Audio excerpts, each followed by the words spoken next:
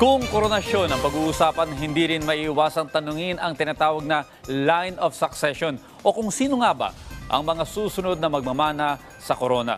Kung sino-sino ang mga yan, kilalanin natin sa ulit ni Patrick De Jesus. Sa pag-upo ni King Charles III bilang pinuno ng United Kingdom, hindi mawawala ang mga nakapila na maaaring pumalit sa kanya.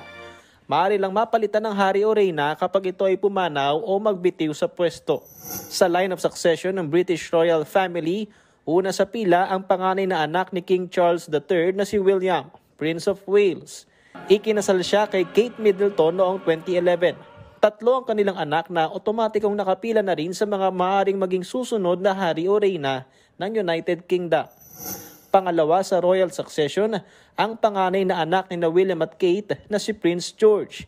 Isinilang siya noong July 22, 2013. Dahil sa Perth Agreement noong 2011, ikatlong tagapagmana ng trono ang pangalawang anak ni na Prince William at Princess Kate na si Princess Charlotte of Wales. Si Charlotte ang unang babae sa royal family na hindi maungusan sa succession kahit may mas nakababata siyang kapatid na lalaki. Bago ang 2011, ang anak na babae ng royal family ay maungusan sa line of succession.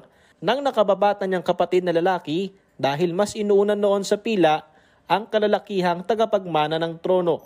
Katulad ng sitwasyon ni Princess Anne, na kapatid ni King Charles III, kung saan mas nauna sa line of succession ang mga nakababata niyang kapatid na lalaki na sina Prince Andrew at Prince Edward kahit na ikalawang anak ni na Queen Elizabeth II at Prince Philip si Princess Anne.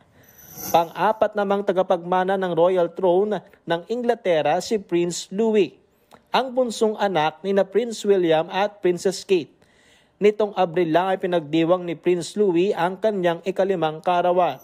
Panglima sa pilang nakababatang kapatid ni Prince William na si Prince Harry. Napangasawa niya ang American actress na si Meghan Markle at mayroon silang dalawang anak na sina Prince Archie at Princess Lilibet na pang-anim at pampito sa royal succession.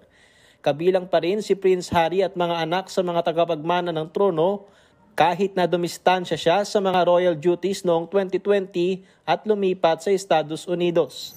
Nakapila rin sa trono sina Prince Andrew, Prince Edward, Princess Anne at kanilang mga anak at apo.